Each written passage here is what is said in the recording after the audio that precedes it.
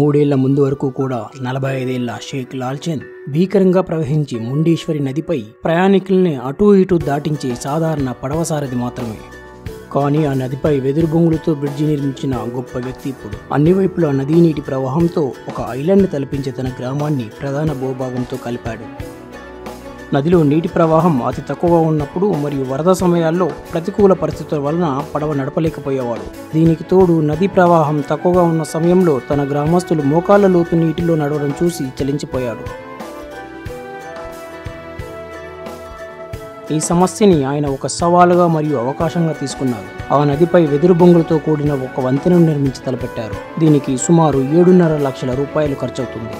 కానీ ఆయన ఆర్థికంగా అంత పటిష్టం కాకపోవడంతో తన భార్య నగలు అమ్మడం ద్వారా ఇంకా మిత్రుల దగ్గర అప్పు తీసుకొని పదహారు మంది కూలీలతో ఇరవై ఎనిమిది రోజుల్లో ఈ వెదురు వంతెనను నిర్మించారు. ఈ పెట్టుబడిని రాబట్టేందుకు ఆయన నామమాత్రపు టోల్ ఛార్జీని కూడా వసూలు చేయడం ప్రారంభించారు. ఇప్పుడు గ్రామస్తులంతా ఆయన్ని కీర్తిస్తున్నారు. రాకపోకలు సులభతరం అవడమే కాకుండా ఎన్నో పెళ్ళిళ్ళకు కూడా కారణమైంది ఆ వంతెన. ఒక గ్రామస్తుడు మాట్లాడుతూ ఇంత ముందుకు మా ఊరితో పెళ్ళి సంబంధాలు పెట్టుకోవడానికి రవాణా సదుపాయాలు లేనందున పరిసర గ్రామస్తులంతా భయపడేవారు. కానీ ఎవరైతే అప్పుడు భయపడ్డారో వాళ్ళే ఇప్పుడు మా ఊరితో పెళ్ళి సంబంధాలు కుదుర్చుకుంటున్నారు అని తమ సంతోషాన్ని వ్యక్తపరిచారు. షేక్ లాల్చంద్ లాగా మన జీవితంలో వచ్చే సమస్యలకు భయపడి పారిపోకుండా ఆ సమస్యని ఒక సవాలుగా స్వీకరించి అవకాశంగా మలుచుకుందాం. ధన్యవాదాలు. ఇలాంటి మరిన్ని స్ఫూర్తిదాయకమైన కథల కోసం రైఫ్ టీవీకి సబ్స్క్రైబ్ చేసుకోండి.